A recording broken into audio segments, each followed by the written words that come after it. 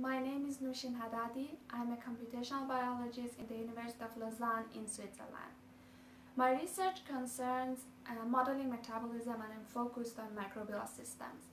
My final goal is to harness the full metabolic capacities of these natural machineries.